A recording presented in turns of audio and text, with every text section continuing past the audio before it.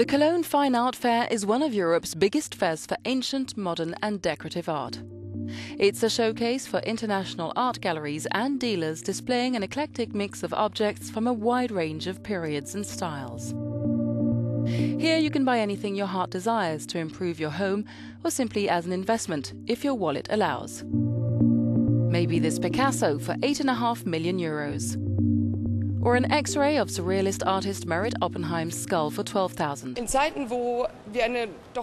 In times of unrest in the financial markets and of lower interest rates, we notice that people are not only interested in buying art for art's sake, but as an investment, says the fair's director Cornelia Zinken. For example, in classic cars or design objects. All those things are seen as good value for money. Kunst, Oldtimer, Designobjekte, All diese Dinge sind sicherlich eine gute Wertanlage. For the first time this year, the fair features a section called Style Icons, showcasing classic cars, including a Chrysler Ghia L6 Coupe from the early 60s or this 1930s Bugatti. Kept behind closed walls for decades, it's hardly ever been on the road.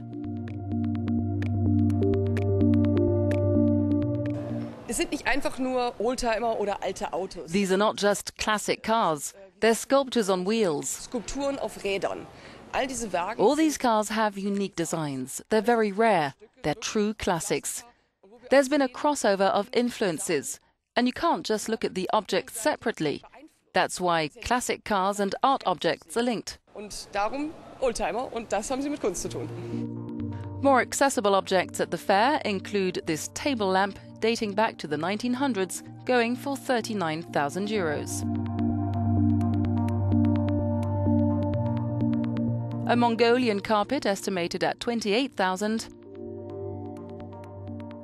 or this 17th century Japanese plate. The Fine Art Fair in Cologne runs until Sunday.